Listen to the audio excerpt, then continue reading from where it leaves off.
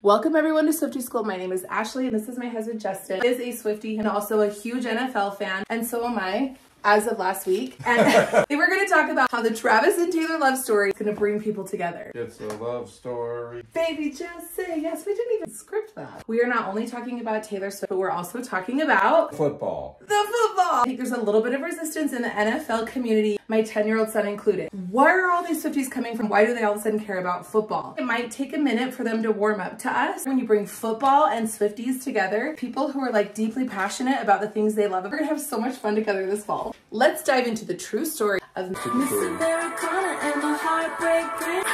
where they came from.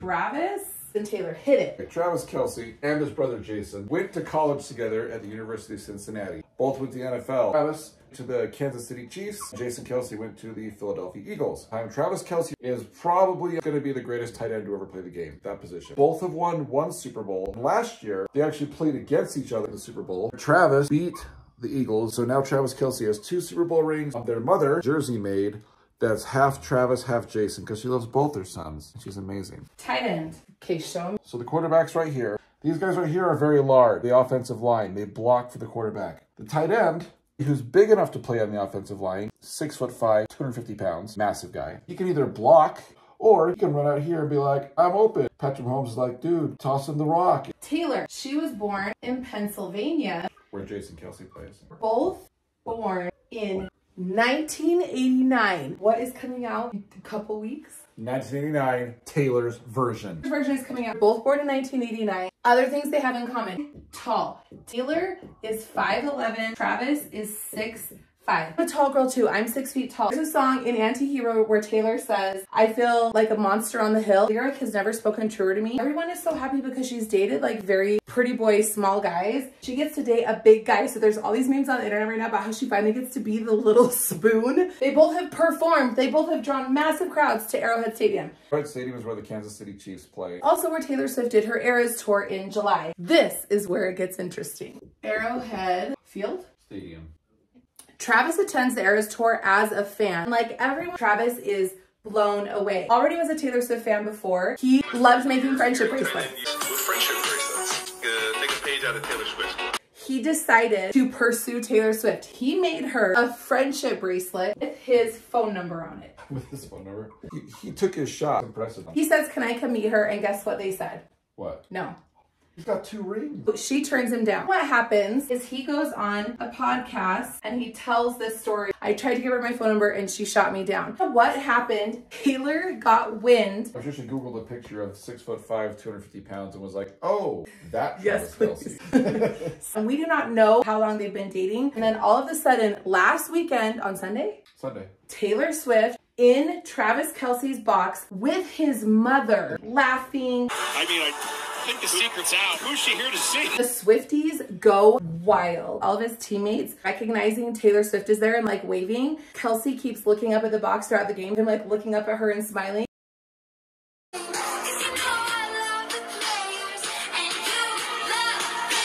Hear it? No, I love the players and you love the game. Football. It's like she's been manifesting for 10 years for this one. On to the next page of notes. So then it is confirmed Taylor and Travis leave the game together and they get into a convertible car, which he then says on his podcast in a getaway car. Getaway car is a Taylor Swift song. He knows what he's doing. And let me tell you the significance of Taylor hopping into a convertible car top down. If you have ever watched Taylor Swift Miss Americana, the documentary, security is one of the biggest things for her team. In a bulletproof suburban, all of the time. The fact that she got into a top down convertible with no security shows how safe she feels with this man. Romance novel writes itself. Six foot five, 250 pounds is pretty good security. You can imagine him just being like, let your security go over the night. She's been with these little guys and now she has like a man go to a restaurant. They buy everyone dinner that's at the restaurant within the next 24 hours is wild. Read them the stats. 400% spike in Kelce's jerseys. 24 million views of the game. 300,000 new followers. Number one podcast on Apple. Every single Chiefs game for the rest of the season is completely sold out. NFL changed icon on social media. Taylor's version means Taylor owns it. So all of her re-recorded albums. And you know what the NFL did? Taylor's version. The NFLs are Swifties. Let's talk Easter eggs. Hidden messages everywhere. Is as Swifties, people are going back and finding what I like to call her invisible strings. So she has a song called Invisible String about being with a person and then kind of looking backward and seeing all the invisible strings that brought you to this person. Let me share with you some of these invisible strings, things that have been a big part of her career, her songs and her lyric that ties her to Travis Kelce. Taylor's favorite number, every Swiftie knows, 13. Travis Kelce's number, 87. 187 plus 13. 100% true love. 100%. He's her 13th public boyfriend. Is he the, is he the first athlete? First athlete. He was born October 5th. So was her grandma Marjorie. His Instagram. Oh, killer. Knew he was a killer. First time that I saw him, that's his Instagram name. First time she saw him, he was wearing a Super Bowl ring. Um, She has a song called Marry, a couple growing old together. Lyrics say, I'll be 87, you'll be 89. Well, it's Switch, She'll be 89, obviously her album that's coming out, and he is number 87. If there's anything I'm forgetting. Oh, oh, oh, the Archer pose. Okay, Travis has a signature move when he gets a touchdown. Do you know what it is? Yep, okay. And then do you know what Taylor Swift does when she's singing the Archer? I'm also going to show you a couple fun lyrical connects. I was loving him like Taylor. Red, red, Oh, hold the on. Chiefs color. The colors of the fall, yellow. There's a song she wrote with Ed Sheeran called End Game. These lyrics. wanna be your end game. I wanna be your first string. I wanna be your 18. You know what first string means, right? Yes, no. First string means like you're the, you're the first string quarterback, you're the starting quarterback. He's the first string tight end. I want to be your first string. Who knows what will happen? They could be done in a week. I think that this could actually last.